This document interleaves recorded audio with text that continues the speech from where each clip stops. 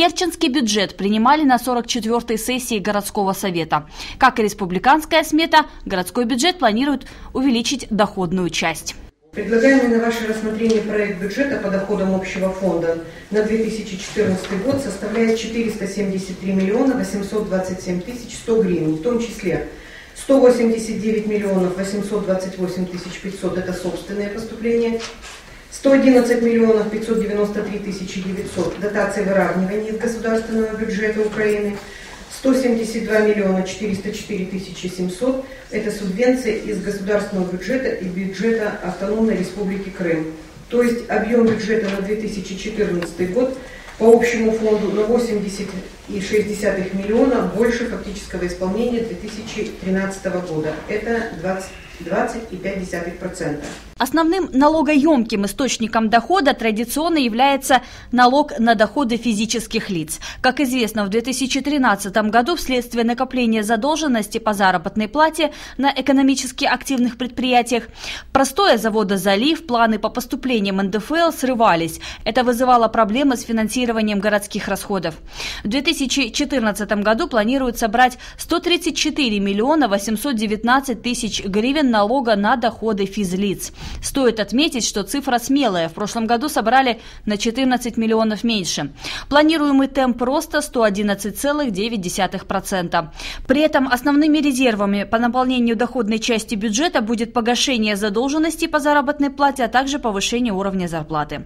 Так, долги по активным предприятиям на начало года составили более 10 миллионов гривен. Однако новая приватизация судоремонтного завода позволила погасить задолженность за 2013 год. Это порядка 4 миллионов. Вторая стадия приватизации предполагает дальнейшее погашение долга. Планы на рост зарплаты обусловлены не только повышением минималки, но и предполагает борьбу с недобросовестными работодателями. Так, в конце 2013 года на 117 предприятиях выплачивали плату ниже минимального размера. Также источником доходов будет плата за землю. Как известно, 25% от налога на землю идет в местный бюджет. Планируемые поступления 50 миллионов 253 тысячи гривен. Чтобы выйти на эту сумму, необходимо перезаключение договоров аренды с учетом новой нормативно-денежной оценки, введенной на территории Керчи в 2011 году.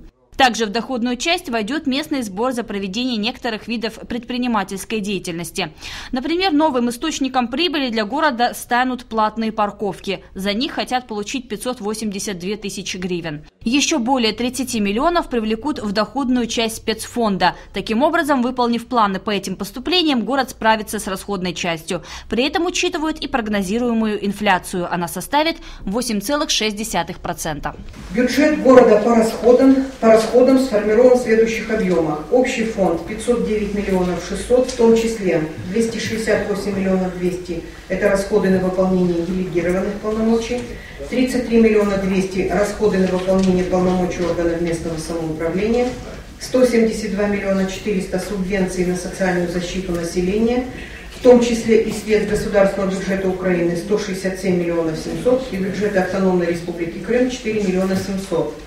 Специальный фонд по расходам 35 миллионов 800, в том числе бюджет развития 23 миллиона 100 и субвенции за государственного бюджета Украины 2 миллиона 900 тысяч гривен.